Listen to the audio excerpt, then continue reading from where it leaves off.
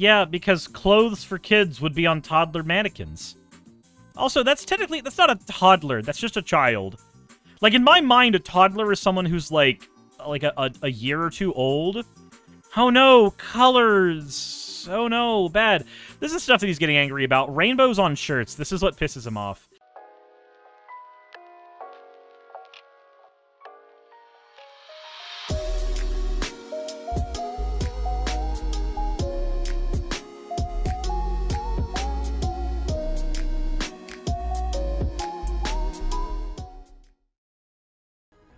So, the NIFB, or the New Independent Fundamental Baptists, always come up in some kind of discourse. And as it is the first day of Pride Month, at least, you know, while, while I'm recording, not necessarily when this goes live, it's probably important to go over some of the crap that they've been saying. Uh, or at least some of the, uh, the ways that their resources are being utilized.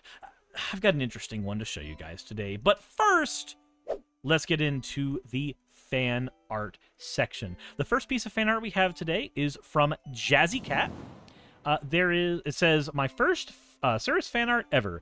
I've been watching for years, but never gotten to fan art before. My confidence in humans and complicated designs is lacking, but I drew this last night in sudden inspiration while watching the channel.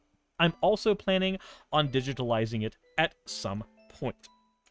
Well, I do love when Slime Suris designs come in because he's just he's just fucking cute. Slime Suris is adorable. I'm willing to say it, even if he causes apocalypse whenever he pops out of the bottle. The next one we have here uh, may take me a little bit of time to get through, but it is from a uh, user who submitted fan art before called Mish Monster.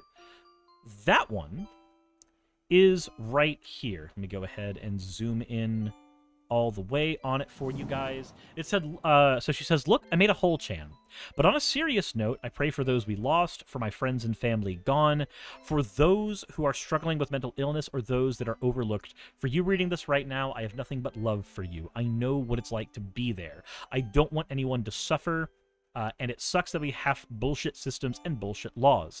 The fact that many have lost everything, including their lives, to the greedy hands of capitalism, to the religions that don't accept everyone equally, that would force people to be so lost and unloved and overlooked, to be exiled from family or public places, to be so alone in darkness with no way out, to have no help.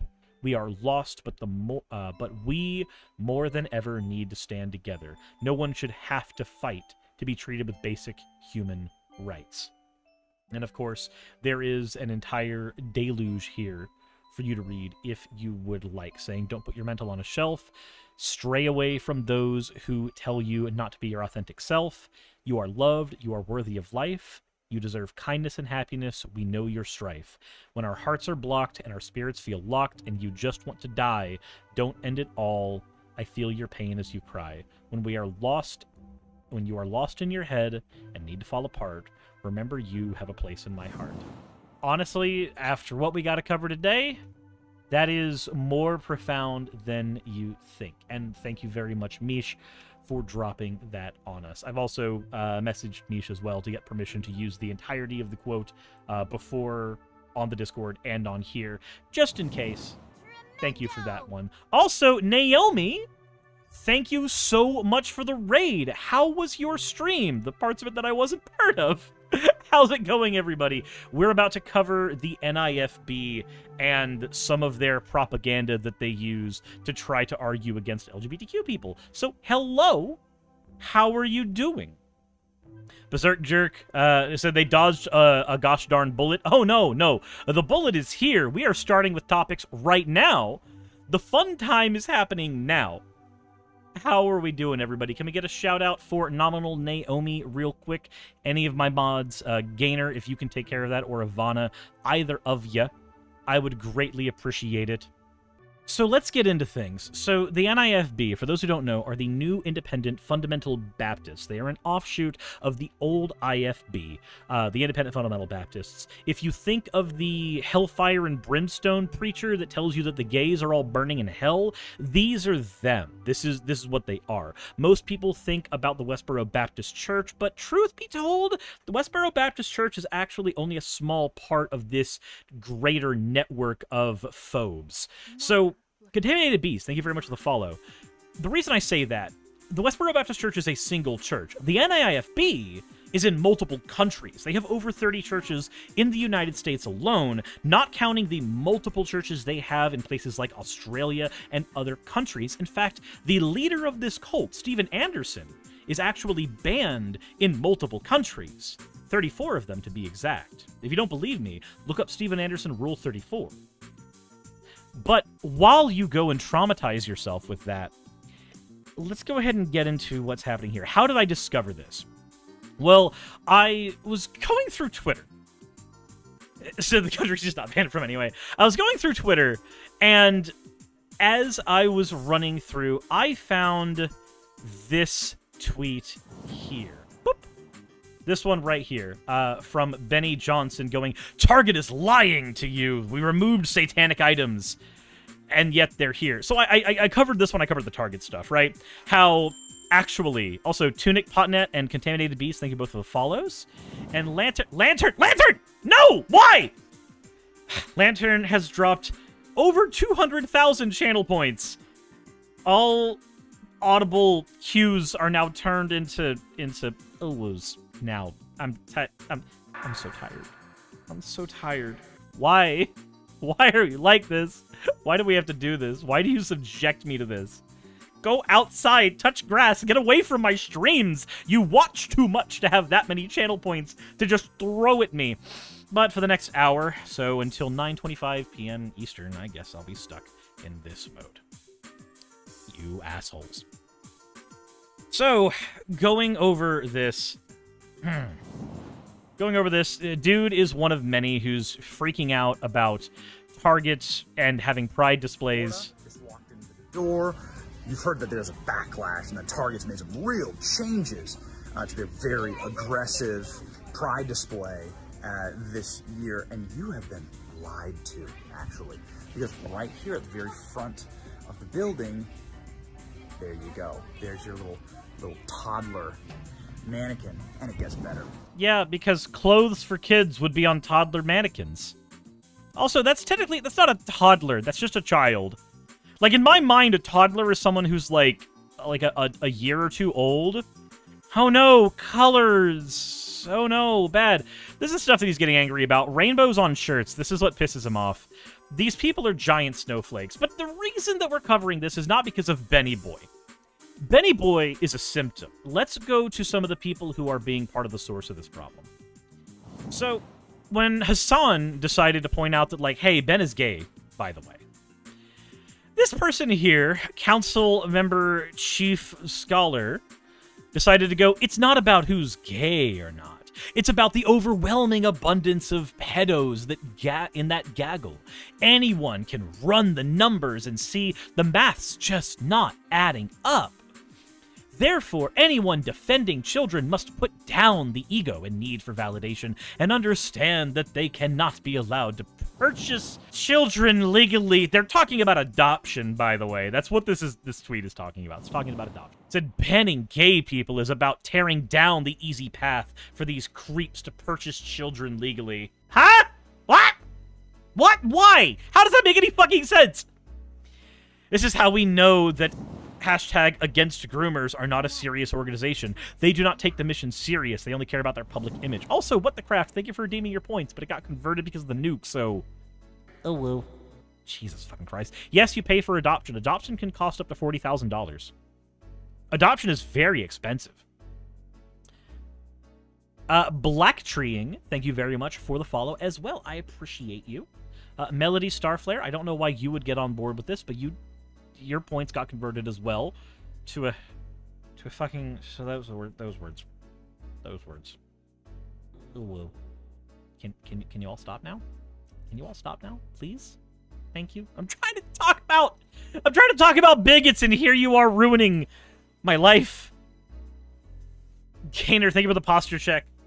I do need to do that they go around town plastering stickers recruiting members into their, quote, disgusting cult, when in reality, they should be advocating for bans, seeing how they know that there's a sick and vile problem in that community. So they think that gays against groomers should be advocating for banning gay people? All right. Mr. council member chief scholar with your blue verified checkmark. I miss when this checkmark meant that I should give a shit about the opinion of the person who said anything. Not that, like, their opinion is more relevant than somebody else's, but in the sense that they actually had some weight on the platform. But this is not the case anymore. Verification means nothing anymore. But then they post a video with a familiar face. Oh boy! We know who this man's is around here.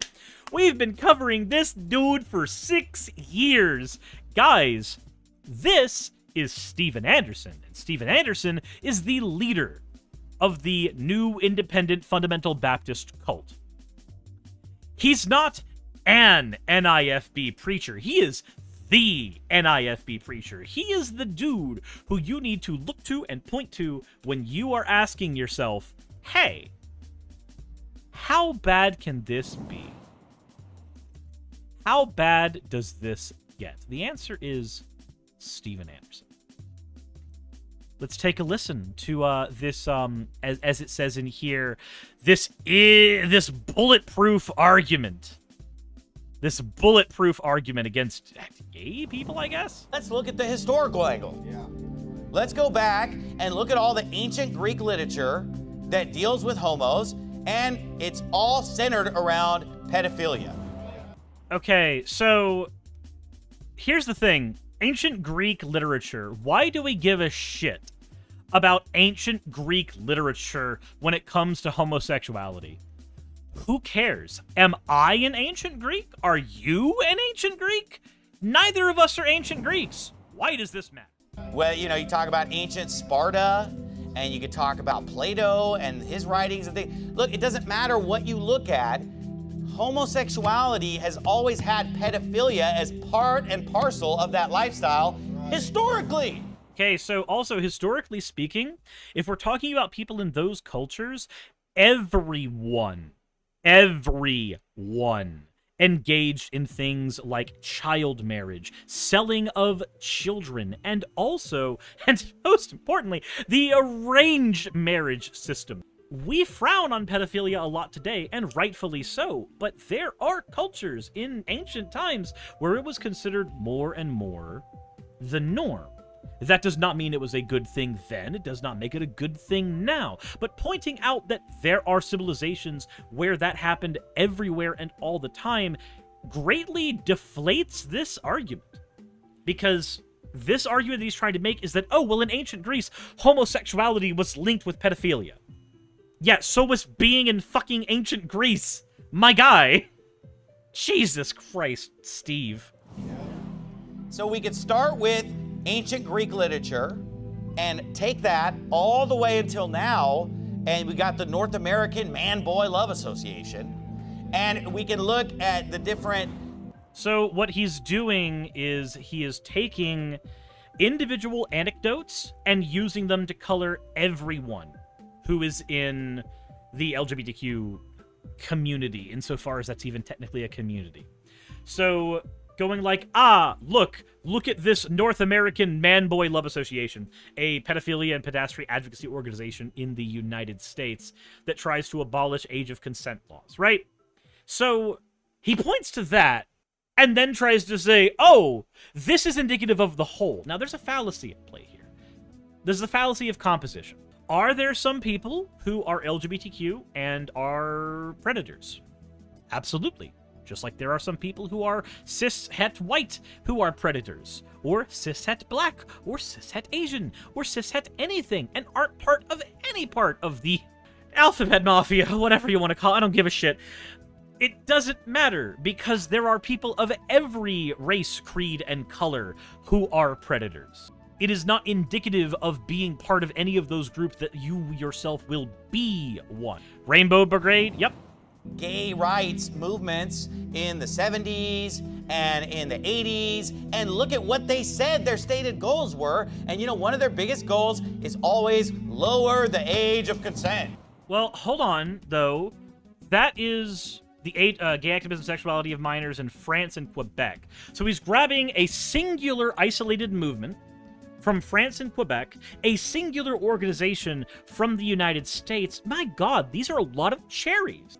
These are a lot of cherries, but if you look historically at the people who are more willing to lower the age of consent here in the States, where we live, so this is where we should be citing most of our evidence, the age of consent lowering conversation almost always happens in one of two areas far right wing Republicans and libertarians, who also tend to favor right wing not all the time, but a lot of the time.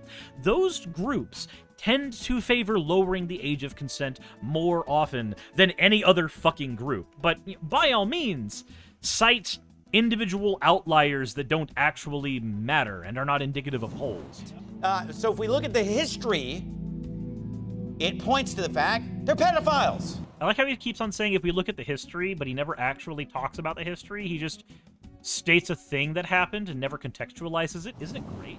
Then we can look at it statistically. Open homos account for 40% of pedophiles. So, let's see here. This is from the Family Research Institute. Now, if memory serves, I could be wrong here. I'm fairly certain I remember. What is this? Do do do. The Family Research Institute Ah, yes, this place. The Southern Poverty Law Center actually has an entire thing on this, pointing out that they often make false claims about the LGBTQ community based on discredited research and junk science. The institute is the intention is to dehumanize LGBTQ people as the organization battles against LGBTQ rights. In the past, this included stances against same-sex marriage, hate crime laws, anti-bullying programs, and the repeal on the military's "Don't Ask, Don't Tell" policy. That's from the Southern Poverty Law Center. So, while sometimes you can point to it being the genetic fallacy to point at the origin of a research paper, I think it's very safe to say that any research that comes out of somewhere like the Family Research Institute or Family Research Council or from the Heritage Foundation or any of these places that are known to have this kind of bias and do not get their research published in accredited journals, I think it's safe to say that most of the research coming out of them is bullshit. Oh, but don't worry, don't worry. It's a bulletproof argument, guys. It's bulletproof. It only uses tainted fucking research. Even though they're only 2% of the population. By the way, do you notice the dog whistle he just did? Did, did you did you catch it? Did you catch it? Because I caught it if I say despite making up only 2% of the population, if I just change that to despite making up only 13% of the population, then suddenly we're talking about black people and violent crimes. We're just doing the 1350 meme, but it's it's about gay people now. God, sometimes it's not a whistle, sometimes it's a foghorn. The math's not adding up, folks. 2% of the population that are open sodomites are 40% of the pedophiles. That means that a homo is 20 times more likely to be a pedophile.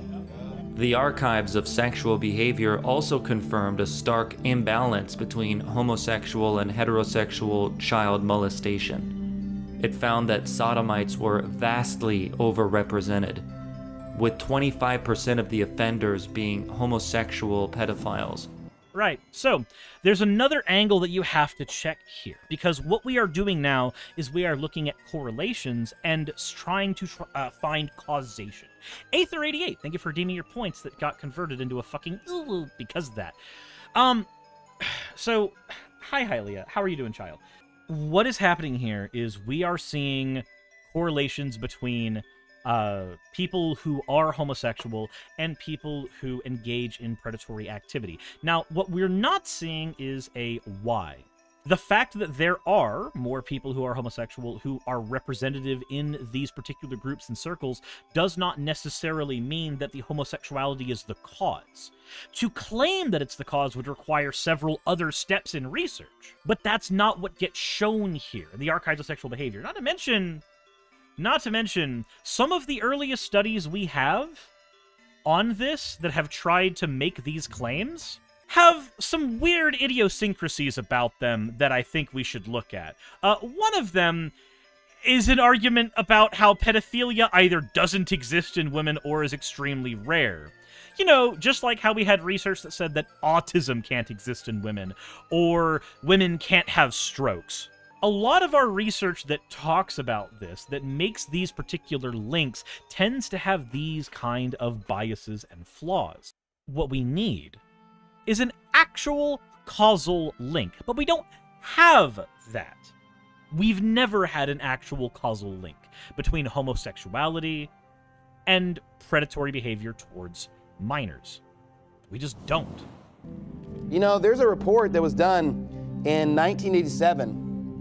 It's called Self Reported Sex Crimes of Non Incarcerated Paraphiliacs. You say, what's a paraphiliac? It's a pervert, okay? It's a sodomite, all right?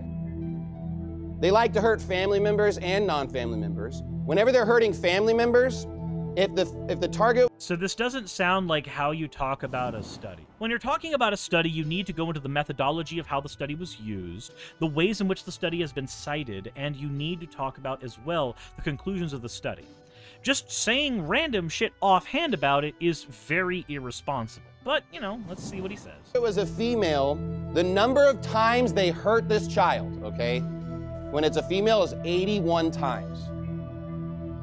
When it's a male, it's 62 times. So when it's in the family, apparently the females they get it a little bit worse. But when it's a Okay, so that doesn't tell us anything except that victims look for convenience. Not victims, but like uh, predators look for convenience. Yes, most people who engage in crimes against people in this way, most people who commit sexual assault, uh, do them on their family. They do them on the people who are around them because those are the people they know how to manipulate. Those are the people they know how to silence.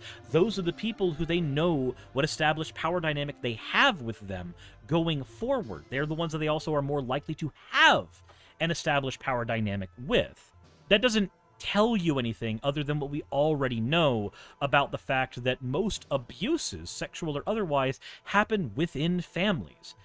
Terrible information, but it's true. That doesn't tell you anything about gay people, and it's most certainly not what I would call bulletproof. Let's look at the history. I'm curious what the quotes on this are. There are three quote tweets on this. Oh, and they are all from the same motherfucker. June is shame month. Ta tried to warn y'all. Don't say gay. Here, have a video. Maybe you can listen. Here you go. Let me know if you need more studies. Again, the studies that they're. He doesn't actually link any studies, by the way. No, studies have been linked. Just a couple of screenshots. Just just a couple of screenshots yanked from the video itself, probably screen grabbed from the video. I guarantee you this motherfucker hasn't read a single one of these studies.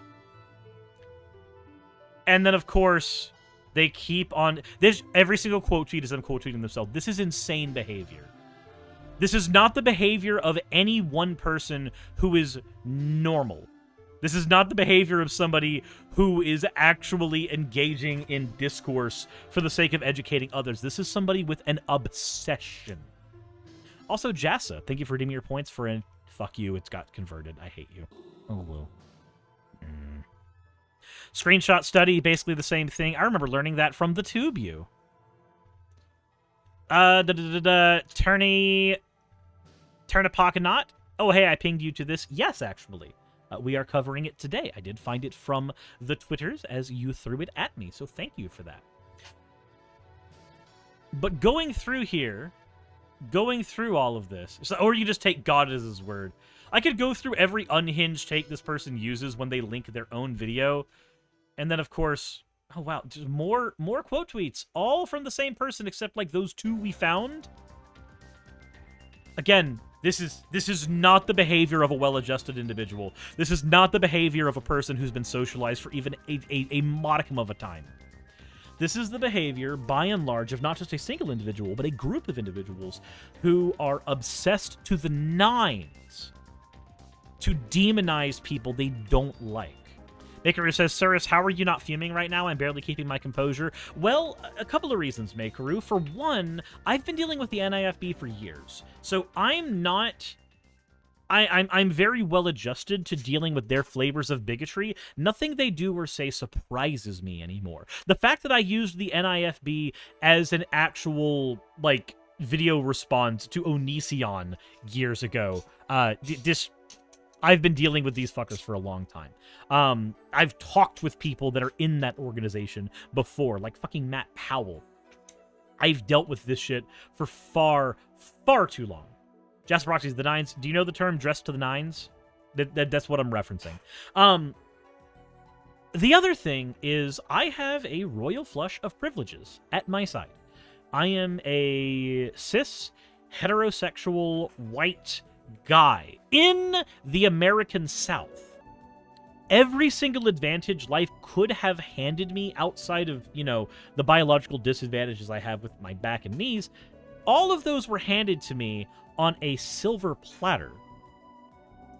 While I may have a lot of friends who are gay, who are trans, uh, who are part of just various letters in the LGBTQ, I myself am very thoroughly insulated from this. That's why I can talk about it without getting hurt as much, because it doesn't affect me directly. And the fact that it doesn't affect me directly does position me in a way that I can cover stuff like this more often. Now, there are times where it breaks me. Uh, remember when I had Nova over at my house covering uh, Brianna Ghey?